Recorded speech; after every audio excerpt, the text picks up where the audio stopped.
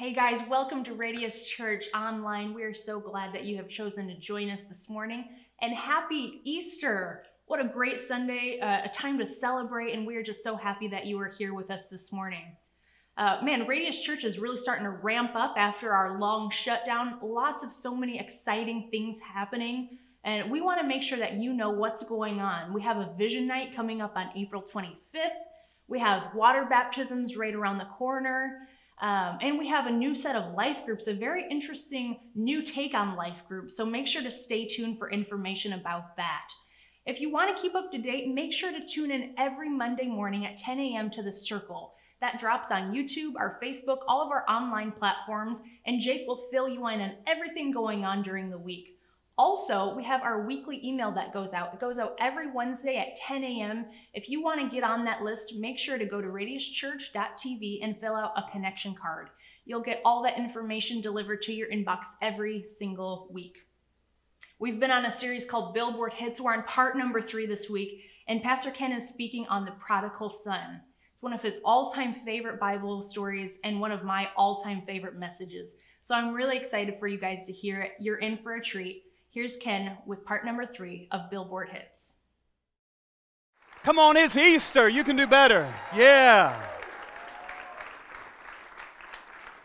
Well, we're on a series that I resurrected one that I preached before called Billboard Hits. And it's just our take of taking what Jesus did and he took uh, stories and, and he mixed it with a truth uh, and we call them parables. Parable comes from the word parabola. Parabola means to bring alongside of. So Jesus would often take stories and bring alongside of it a truth. And so we are just attempting to do the same thing with some of my favorite songs. It's a little bit different take on the Easter message. But one of my biggest fears as a pastor is that we come year in and year out and year in and year out and we hear, and I mean no disrespect, about the stone that's been rolled away, and that's great. And without it, we wouldn't be here today. But sometimes you, when you hear a story over and over, if we don't mean to, but we can become a little bit calloused or, or we eliminate some of the emotion behind it.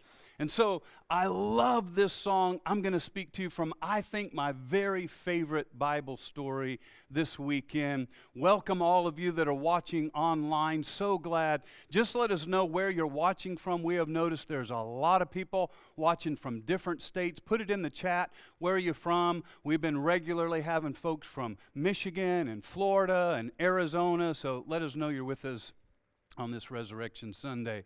The song was released on March the 9th, 1987. I still haven't found what I'm looking for. It skyrocketed to the Billboard hits off the album, The Joshua Tree. And some of the lines that we just had you sing are some of my favorite lyrics in any song. It was originally written to be a gospel song, and some of the lyrics say, I have spoke with the tongues of angels. I have held the hand of the devil, but I still haven't found what I'm looking for. That may make a little more sense as we get into the message a little bit. I like the last verse. It says, You broke the bonds and you loosed the chains. Can anybody say amen to that? You carried the cross of all my shame, of all my shame. And you know I believe it. But some still haven't found what they're looking for. Let's pray and see what God would say to us tonight. So, Father, in the next few minutes that we spend in this place and in this space, I pray, God, that you would just allow your Holy Spirit to interpret this message into everybody's understanding. Whatever our paradigms, whatever our backgrounds are, I pray that we would see you different. We would see you madly in love with us, a God that's running after us. I pray that tonight in Jesus' name. Amen. Let me start off with a few questions. How many of you, by a show of hands, all right, how many of you have ever uh, been lost? Let me see your hands. Come on, let me see your hands. That's interesting. Come on, raise them up if you. I had to ask twice because women raise their hand right away, but men are hesitant because men never like to admit their loss. Come on, right, men? Right? Aren't, you, men, aren't you glad for GPS? Because now we don't ever have to fake like we're not lost, right? Thank you, Jesus, for GPS. But uh, I was 18 years old and I was working on the loading docks in Memphis, Tennessee. And a friend of mine always drove me to work because he worked there too and I rode home with them. But my last week of the job, I had to go pick up my paycheck at an odd time, and I drove down into the, now. If you've ever been to Memphis, all of Memphis is a bad area, okay? And and and so I drove down there to get my paycheck, got my paycheck, and took a wrong turn, and I was stopped at a stop sign, and I was looking at. Um, some of you won't know what these are, uh, but I was looking at uh, an old-fashioned map, like a paper map, you know. How many remember those? You, you, you, know, it wasn't real easy like somebody talking to you where to turn. It was like unfold it and unfold, and before you know it, it's taken up the whole car. Oh, here I am, right? And, and by the time I was like, oh, I, I, I zigged when I should have zagged, and, and, and I started folding it up, and I looked out my windshield, and my car was surrounded. And no kidding, I, I, there had to at least be 20 gang members around my car my spidey senses went straight up because I knew they weren't ready to invite me to church. How many know what I'm saying, right? And I, am just telling you, I don't know what happened, but I hit the gas and I took off. I remember seeing guys flying, rolling over my hood. I don't know what happened to them. I didn't stop to pray for them. Father, forgive me, but I got out of there. Okay, if you haven't ever been lost, how many of you have ever lost something? Uh, come on, you've lost something. How many of you lost something today? Anybody at all? Right?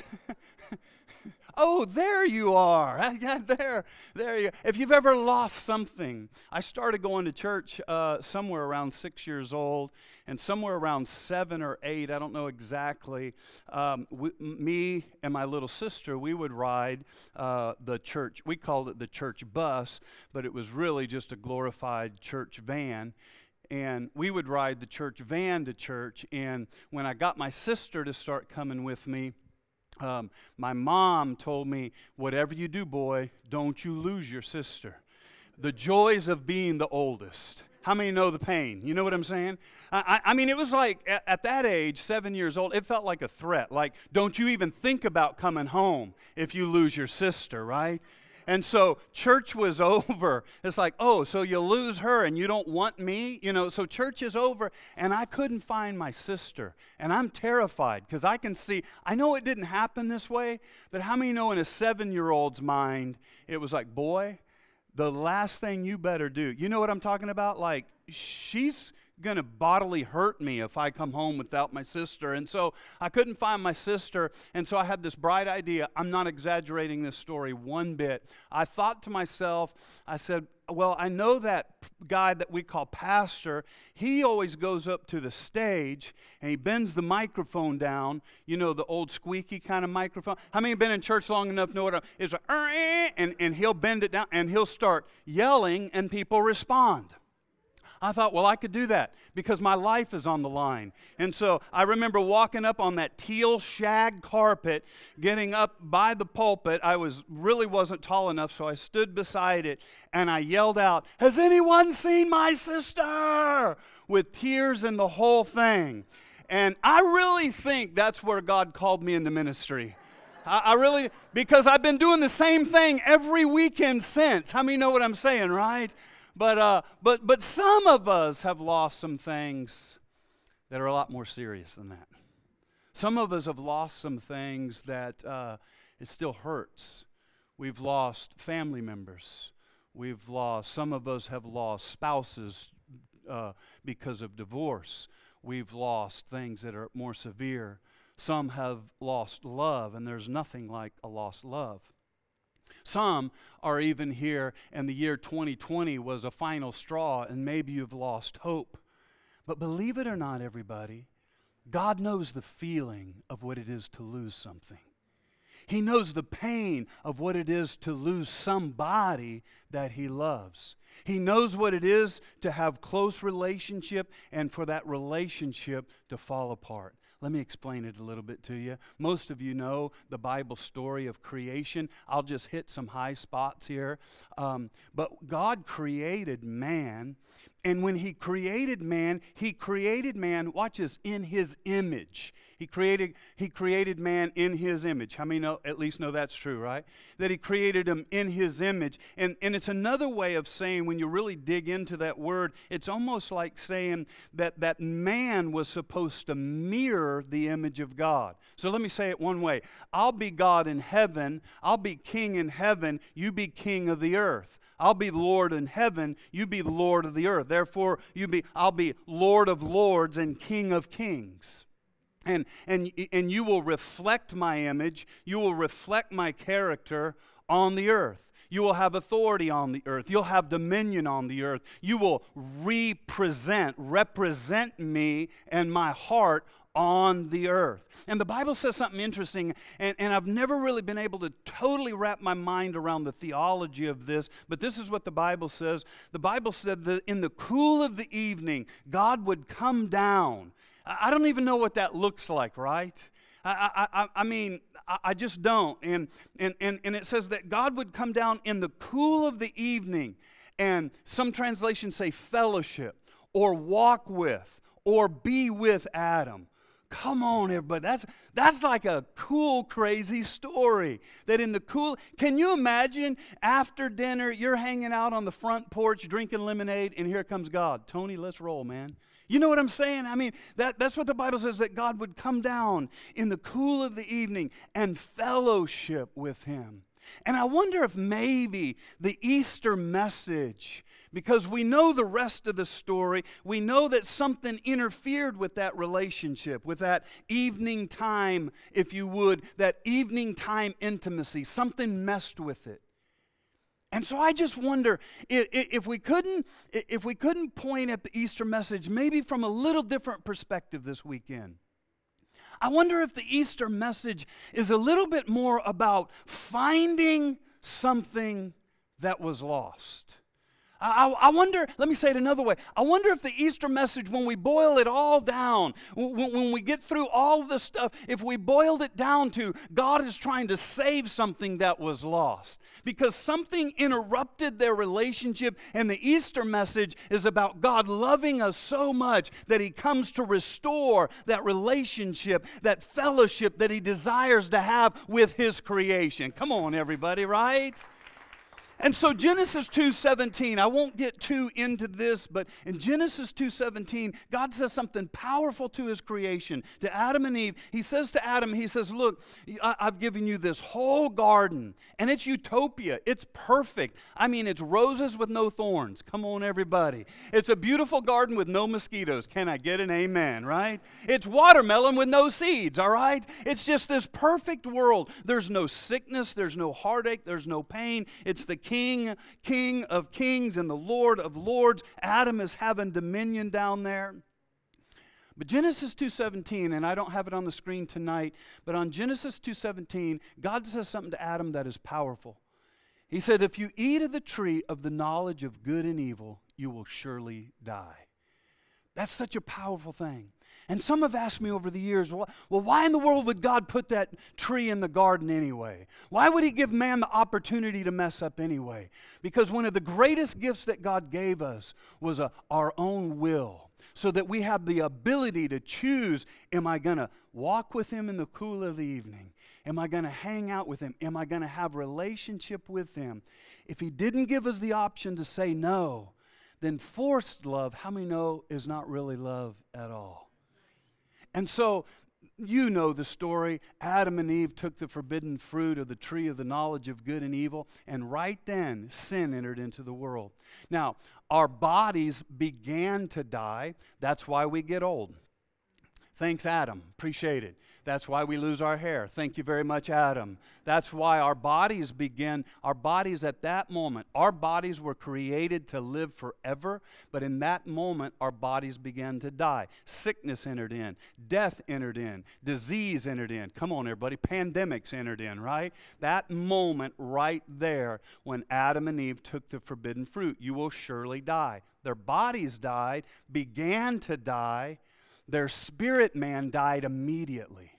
That's why later on in John 3 3, we hear Jesus teaching Nicodemus, who was the greatest Bible scholar of his time. He told Nicodemus, unless a man is born again, he cannot enter into the kingdom of heaven. Because all of us are born into this world spiritually dead, and that's why when we become followers of Christ, we become born again.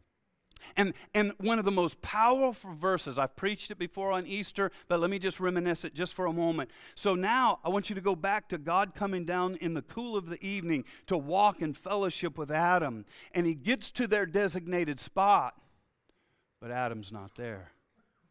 And for the first time in the creation of the world, the master of the universe asks a question I just have to imagine that heaven stood still, that God, the sum total of every equation, the answer to every question, is now asking a question Adam, where are you?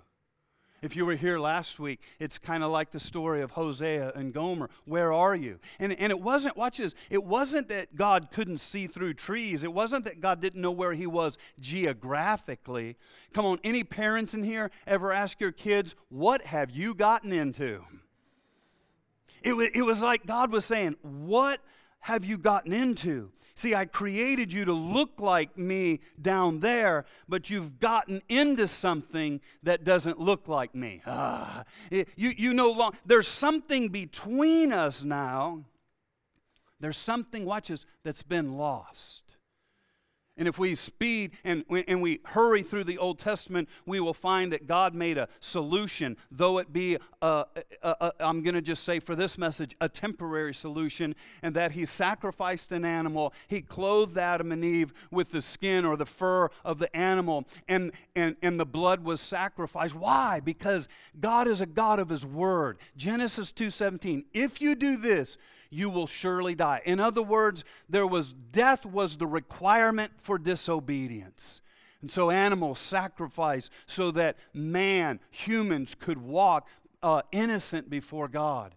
And that's the Old Testament as fast as I can go through it. That sets up this story. But if you listen real carefully, if you listen real carefully, all through the Old Testament, all of us, we, we, mankind ha, has an IOU on their life. Their, their sins are forgiven, but for a season, but then again, they have to sacrifice again, and they have to sacrifice again. And the relationship with God is not all that it could be. Now, watch this. I could almost hear God. This is my Easter message, so I'm going to preach it a little bit different. But I could almost hear God through the hallways of the Old Testament singing, But I still haven't found what I'm looking for, right?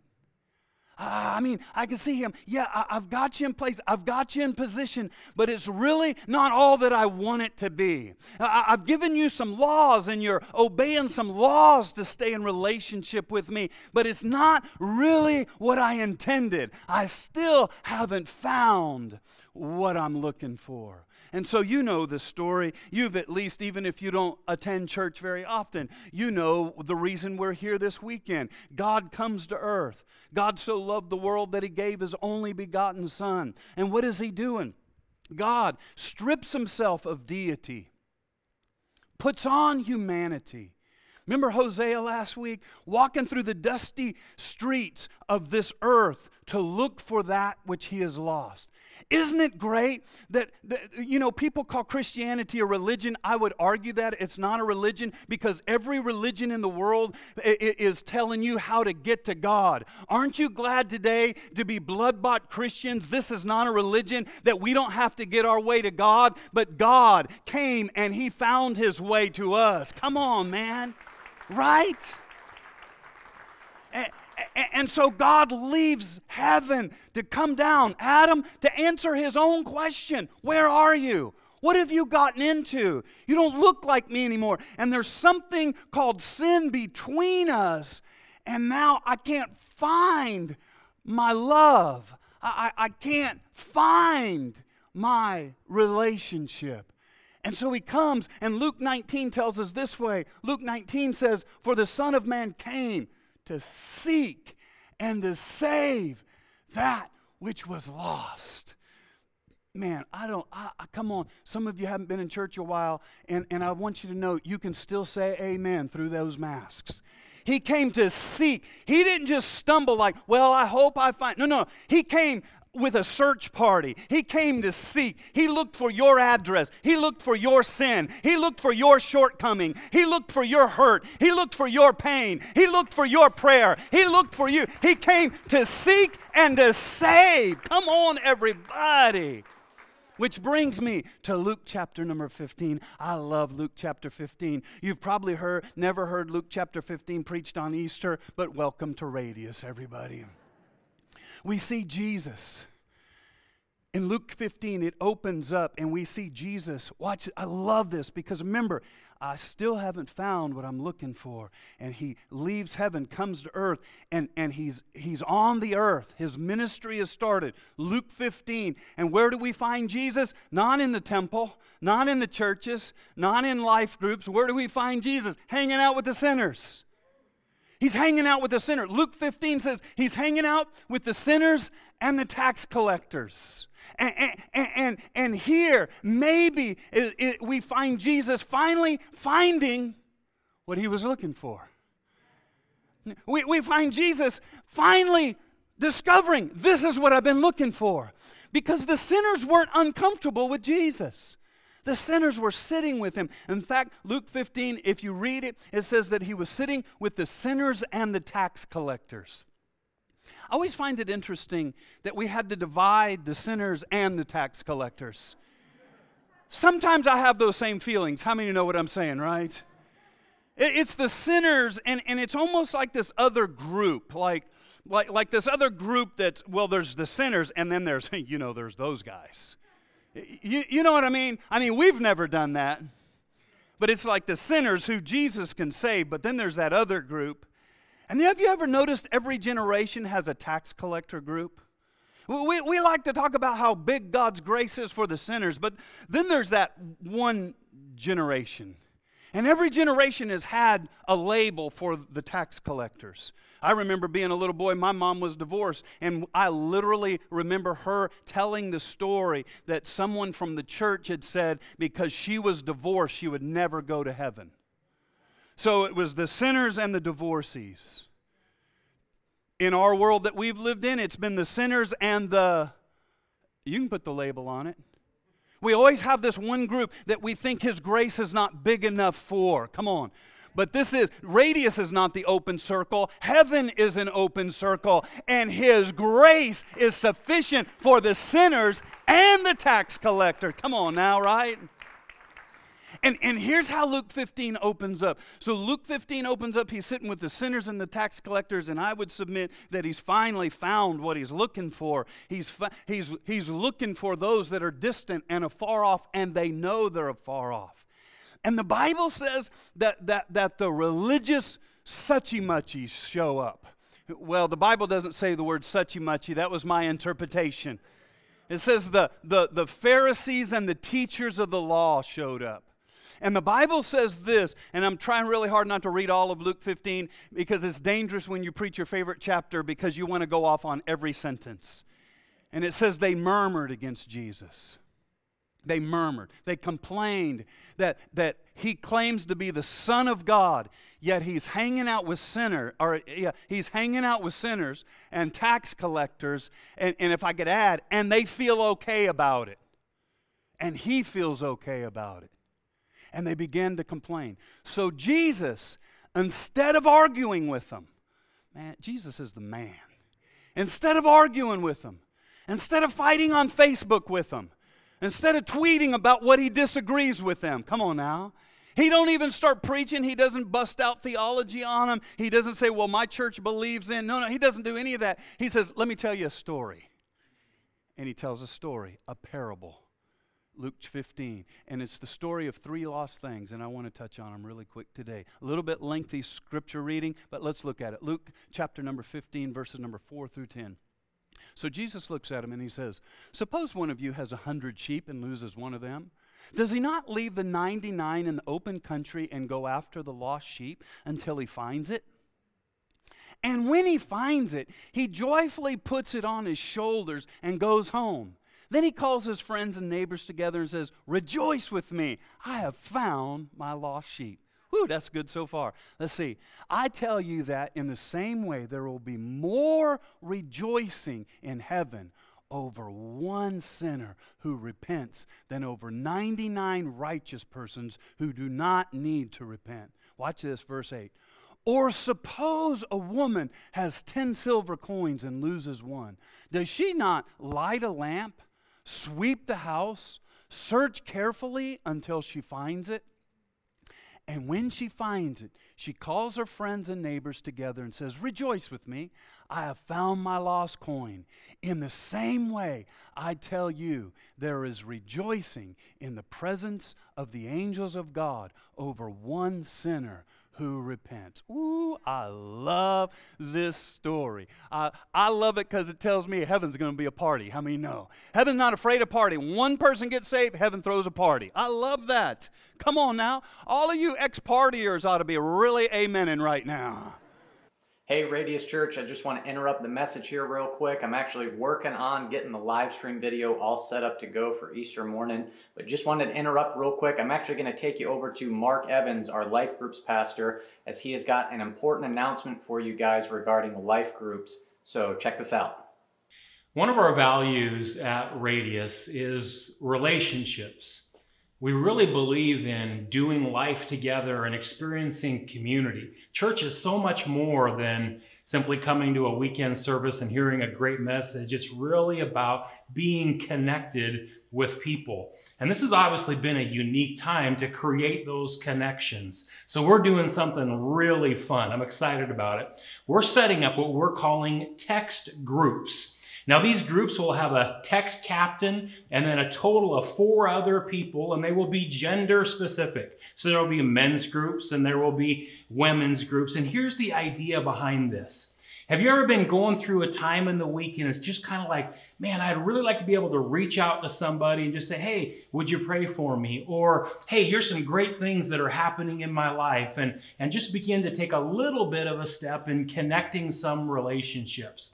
So over the next couple weeks, we're giving you the opportunity to get connected in a text group. You can go to radiuschurch.tv. There's a text group button you can click. You can also fill out a card at church.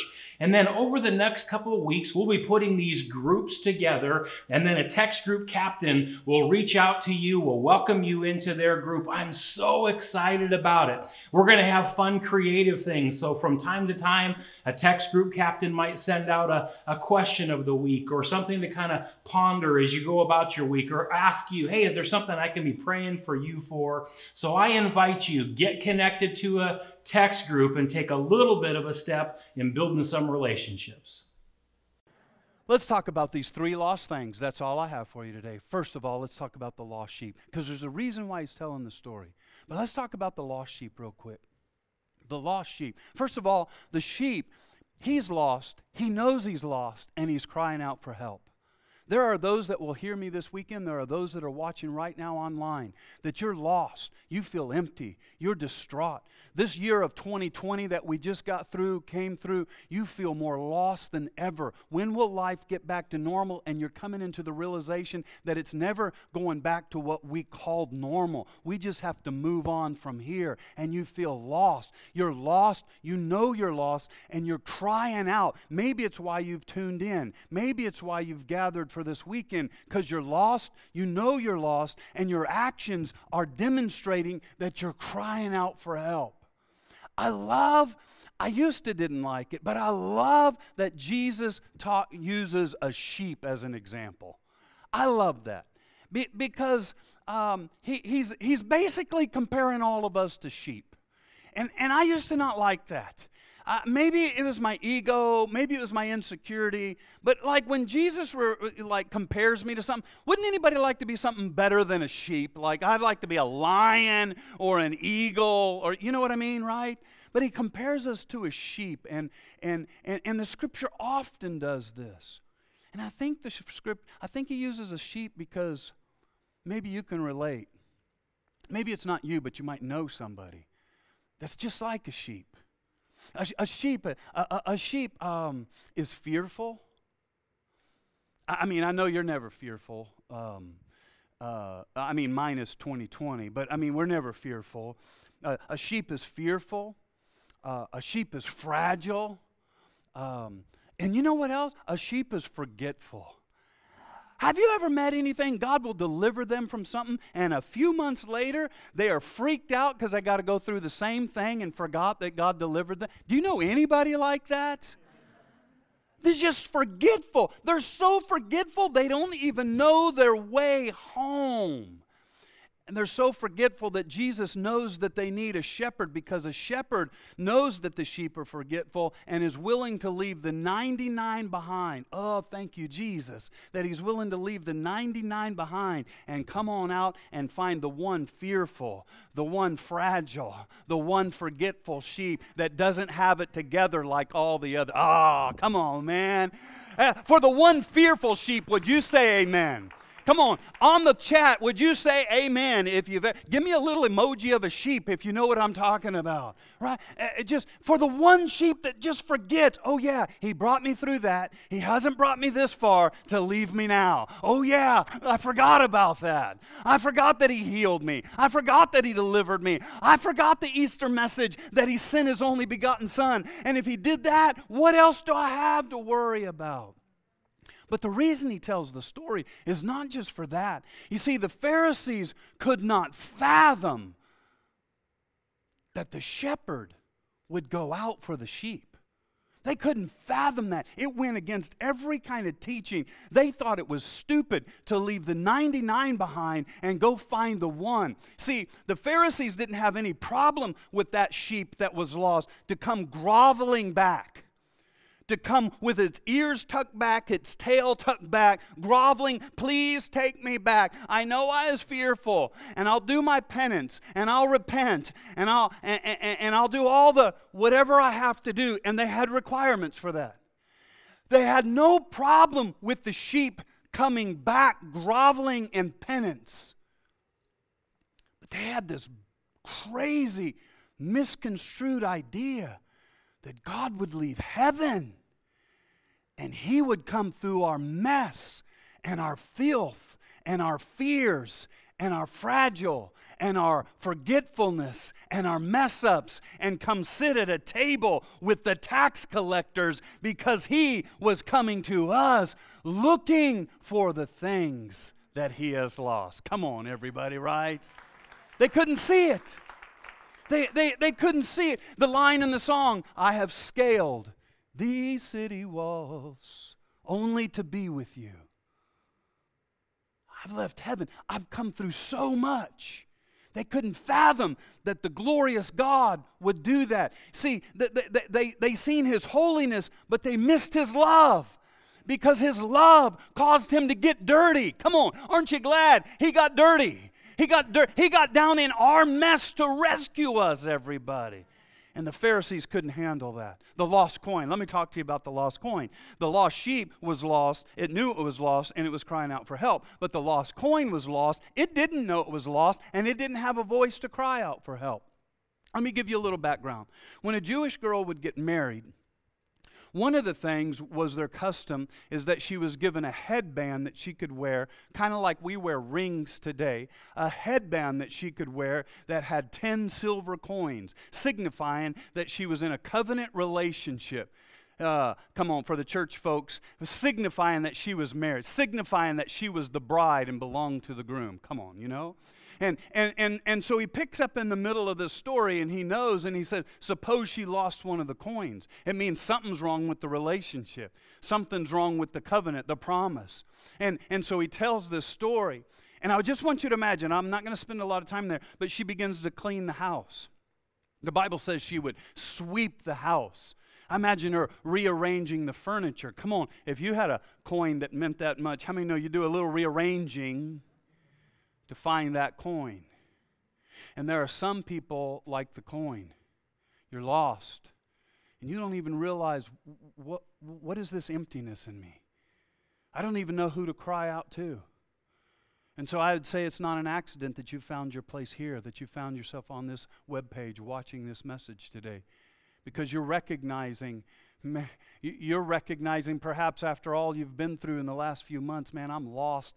I, I, I never knew there was anything to this God thing, but there's this emptiness in me. And, and, and I never knew God loved me so much. And I didn't realize the price that He paid to get me. And, and, and, and nobody ever told me that where I'm at is not where I have to stay and, and I'm just hearing it for the first time. But you're here today, and you're listening today, and you're hearing the song. You're hearing the story of Easter, how God so loved the world that He came, and, and, and He's looking for you, and He's longing for you, and He's searching for you. And if we could hear it, come on, we could hear God singing. And I still haven't found what I'm looking for. We could see him. Eh, we, we can see him in the dirty manger, leaving the royalty of heaven, being born in a manger to a teenage girl. They didn't, they didn't even have an inn, but he's walking through the filth, not just of this earth, but the fallen world. He's walking through the places where I have messed up, singing, but I still haven't found what I'm looking for. Oh, let me get you to the best part of the story. Because after the lost sheep and after the lost son, or excuse me, the lost coin, there's the lost son. And oh, the story takes a dramatic change right here. And we find out why Jesus is really telling this story.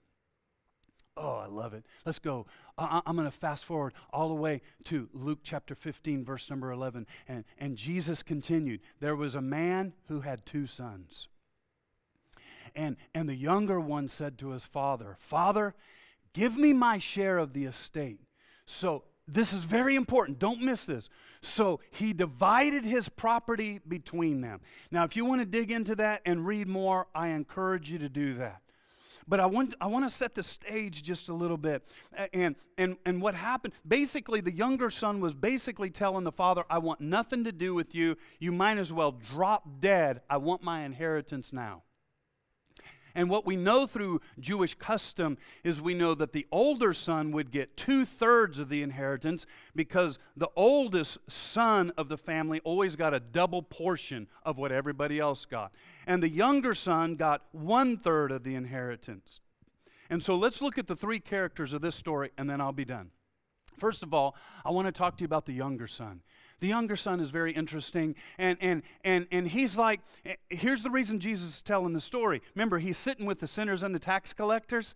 So, so, so the younger son represents the sinners and the tax collectors. And, and he starts, he says, he, he's like them. And, and he, he takes his inheritance. He, he wants nothing to do with the father. He goes to a foreign land. You can read it in there. And he goes off and he spends all of his money living frivolously. And, and he spends it on prostitutes and he does all kind of wild living. And then a famine hits the land and he finds himself in a pig pen. And here's where the story gets really interesting because in verse number 17, we find that this, this boy has hit rock bottom. He's like the sinners and the tax collectors. He's been very geographically distant from the Father. He's run from the Father. And, and I love this part. It's our prayer for you this weekend or anytime you ever tune in and watch this message. I love this. When he came to his senses, can I paraphrase that?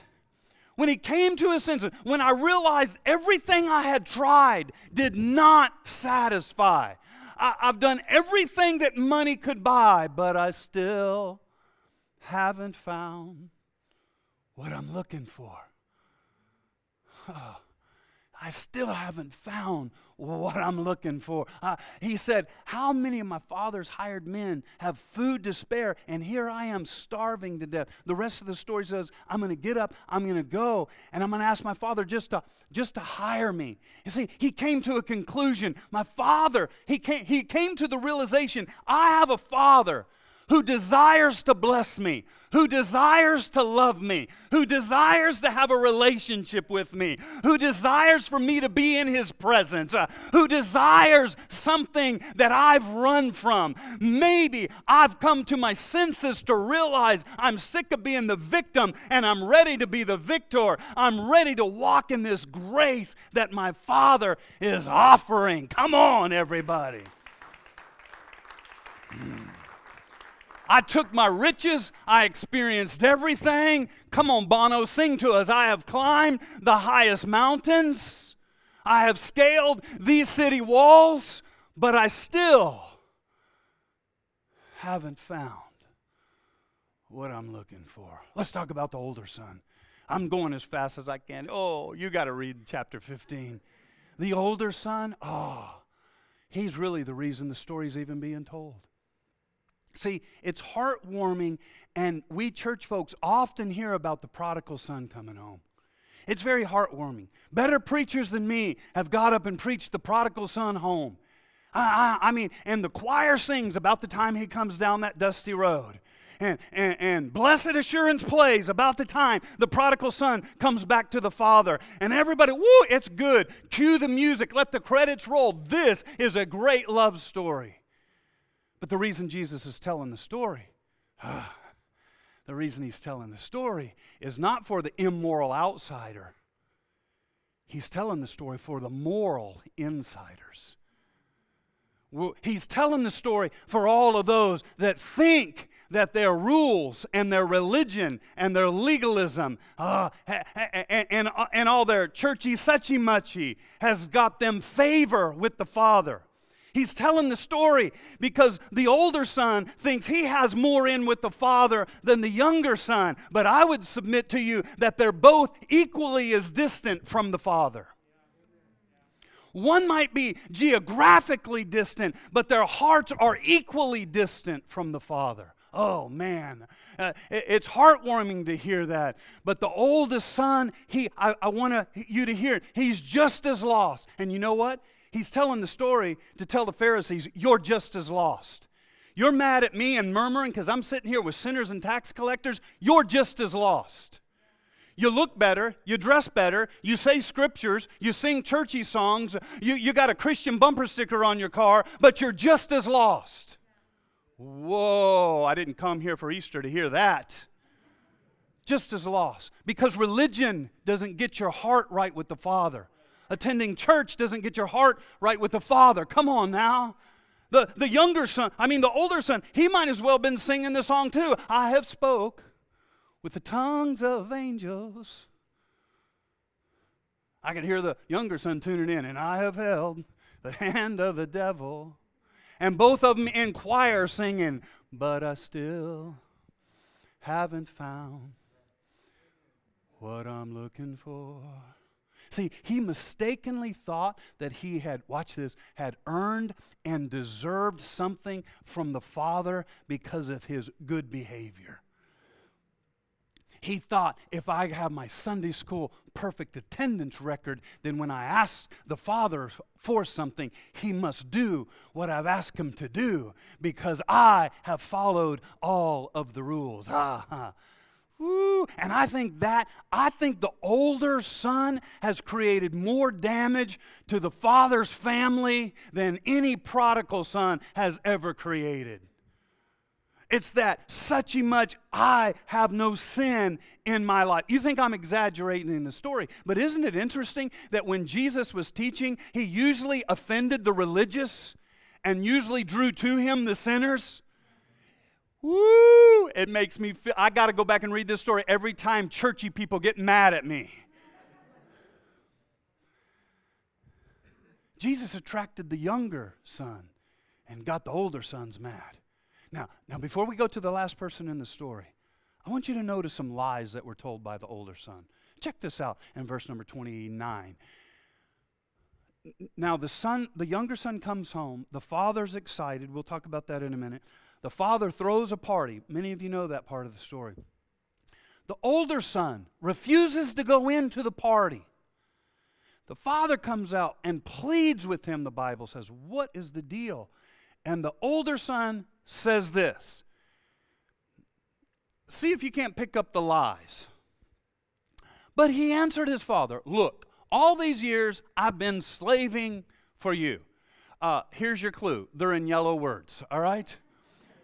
And I've never disobeyed. I, am sorry, I know I shouldn't say this in church. I already want to choke this boy out. I have never disobeyed. Liar, liar, pants on fire.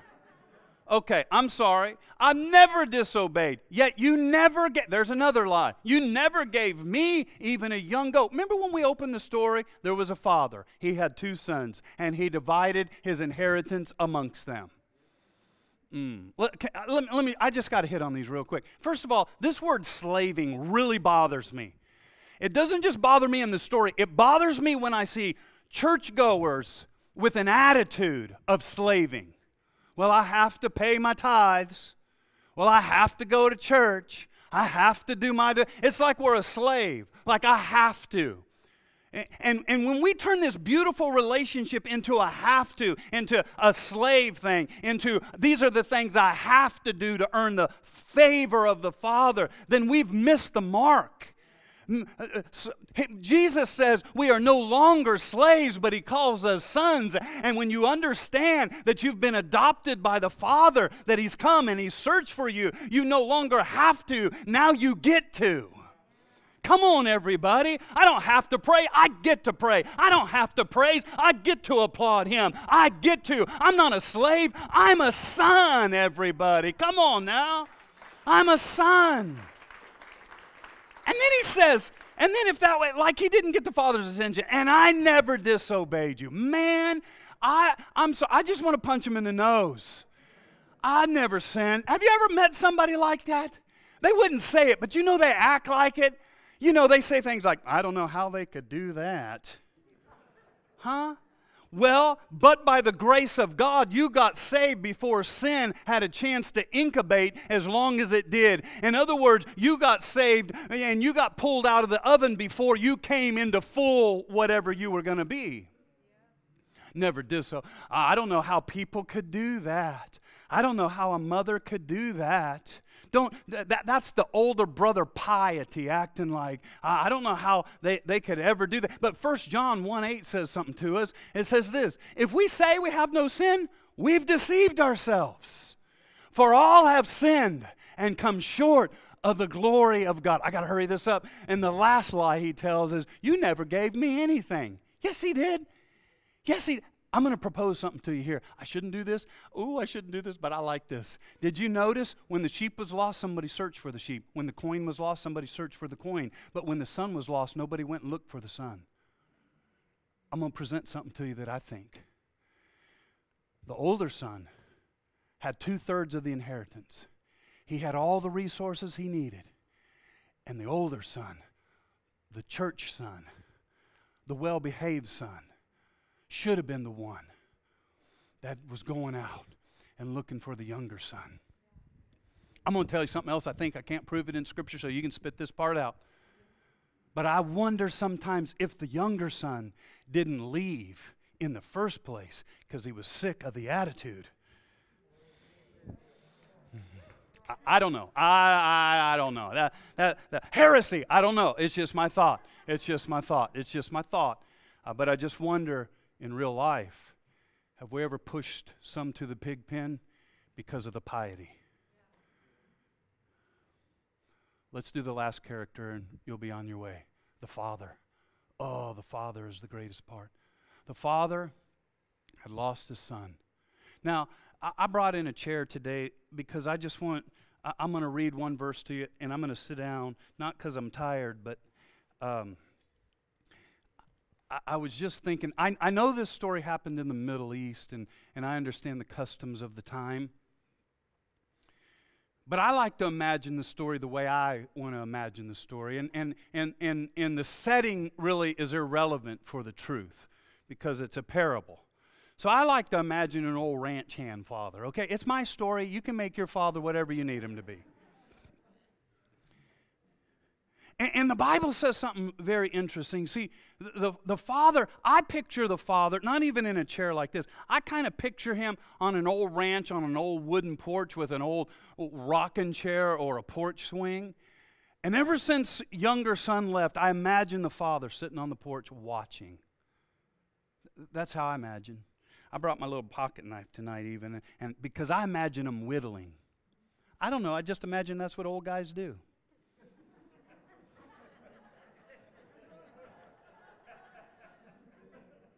Maybe I need the practice. I don't know. And I could almost hear, but I still haven't found what I'm looking for. I, I, I have a feeling he never took his eye off the road that came home. I have scaled these city walls, these city walls, but I still, Adam, where art thou? Haven't found. Wait, wait, wait. He's not just looking to the side where the younger son is. Oh no, that would make the story incomplete. The younger son's very distant, but the older son is right here. I have spoke with tongues of angels.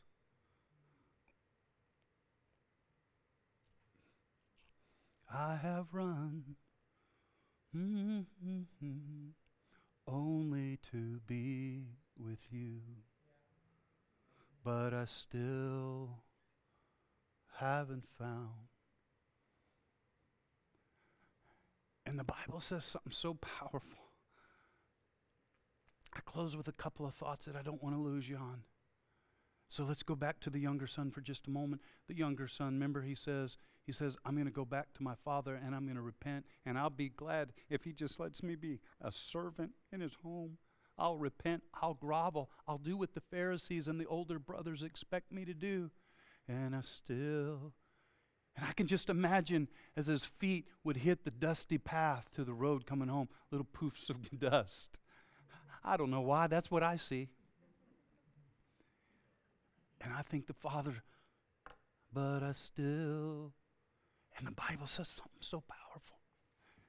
To me, it's the greatest Easter verse ever. It's found in verse number 20. Check it out. So he got up and went to his father, father, but while he was still a long way off. How, how did we know he was a long way off? Because the father never got his eye off the road. His father, but I still haven't found. He was a long way. While he was a, aren't you glad God found you when you were a long way off? Aren't you glad you didn't have to get close? You didn't have to get clean. You didn't have to get it together. You didn't have to get churchy. You didn't have to get righteous. You didn't have to get washed up, cleaned up, talked up, walked up. You didn't have to. But while you were a long, don't act like you weren't a long way off because I know some of you and you were a long way off and the father found you while you were a long way while you were still cussing him while you were while you were still dripping with the pods of the pigs he found you. Come on tony he found you. Am i right about it? Yeah he found you. Some of you he went to prison to find you. Some of them he went to drug rehabs to find you. Some of you he went to betrayal and pain and hurt but he found you. He went through all of it because he had to answer the question adam where are you? That's the easter message. I have found i'm running after the thing that i'm looking for and he's running after after you. Come on, somebody. Wow. Because he was filled with compassion. And he ran to his son and he threw his arms around him and he kissed him. And oh, oh, just for a little more time. Notice at the end of this parable, at the end of all these parables, watch this. All of the all the lost things, uh, everything after it was found, there was a party thrown afterwards. And and really, you think Sorry with the same illustration, but you would think that the father runs to him. He wraps his arm around him. And you would think right there, oh, the, the music begins to fade in, the lights begin to fade down, the credits begin to roll. It's a Hollywood movie, everybody. And instead of I still haven't found what I'm looking for, they're singing something like Kool and the Gang, celebrate good times. I don't know. My son is coming. That's the quickest I could come up with something. And you would think that's how the story would end. Celebration, kill the fatted calf, get a robe for my son, put a ring of authority back on him, cover him in my righteousness, and take this heaviness off of him. Bring him in to the Father, kill the fatted calf, and the credits would roll. Oh, what a celebration! Everyone is celebrating except the older son is still outside of the party. Watch what happens. I won't read it to you. First of all, dignified fathers didn't run to their sons. That's something that children did. It was humbling for a Middle Eastern man to take up his whatever you call his clothes and, and, and run to his son. That was humbling. It was humiliating for him to run. Only children ran. It was undignified, but he ran. Watch this. It's also humbling for the Lord of the manor to have to go outside of the party and plead with the older son please come into the party. And the story ends the same way the story begins. But I still haven't found. I know you're religious. I know you wear a cross. I know you know a lot of Bible verses. But do you know me? Will you come in and celebrate with me? Will you come and huddle up in this big feast of grace? Your brother has come home. And unfortunately, the story ends with the same song, but I still. So, my question as I end tonight what son are you? What son are you? Today, are you the son he's looking for and longing for?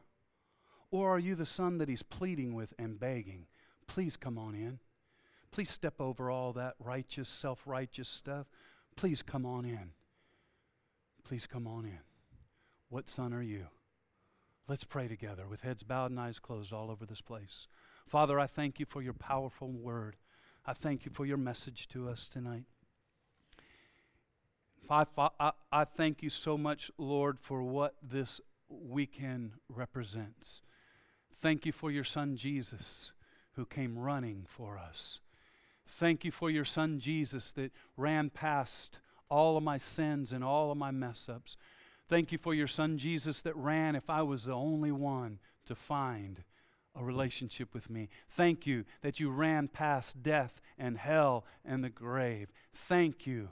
Thank you. And maybe you're listening to me online, and maybe you're even in this room right now, and you're not a follower of Jesus. Maybe you don't have this kind of relationship. Maybe you identify with one of the two sons. And if you don't, that means, man, you're in this grace filled relationship with God, and we applaud you, and heaven is happy. But could you be the son that needs to come home? Or could you be the son that needs to get past all your self righteousness and all these works of, uh, uh, of religion? The, the Father is longing and looking for you to have a relationship, a heart relationship. Say, maybe you've never heard that before, and maybe a church has messed that up for you. But if you're here, I want you to know. If you're listening online, I want you to know it's real simple. The Bible says this that if we'll confess with our mouth that He is Lord, and believe in our heart that He is faithful and just to forgive us of our sins. And in just a moment in this room, I'm going to ask everyone in this whole audience to pray this prayer with me. And if you're watching online, I don't you, you might be watching this live. You might have stumbled on this months from when I preached it, but it's no accident that God is using this to call you home right now. And so we're going to pray this prayer. And before I do, I want to know with heads bowed and eyes closed, I won't embarrass anybody, I won't bring anybody forward. But if you're in the room and you say, hey, Ken, I want to be in that prayer, I want to become a follower of Christ. I, I want to understand God's plans and purposes for my life. I don't even know all the things it means to be a son. I don't know what it means to be a follower of Christ, but I feel Him drawing me to take that first step and get on the journey to discover His plans for my life. If that's you, all over this room, I won't call you out. You just slip your hand up. Mm, just that's that's me. God bless you, my friend. God bless you. Is there anybody else? Anybody else in this room says, That's me. I need it. Yep, buddy. Great move. Love you, buddy. Thank you so much. Anybody else? We're going to say this prayer. If you're watching online, when we get done praying, there's a little box there that you can click a little hand that'll virtually raise, and we'll send you some information. But I want everybody in this place. Come on, everybody, it's Easter weekend. Let's say this prayer. Let's say it with some vigor and boldness. Come on, repeat it with me. Father God, thank you for Jesus. I'm a sinner, I need a Savior. Come into my life and be my Lord and my Savior and my best friend. From this day forward, I'm going to serve you in Jesus' name. Amen. And the Bible says even heaven celebrates when one sinner, come on, everybody.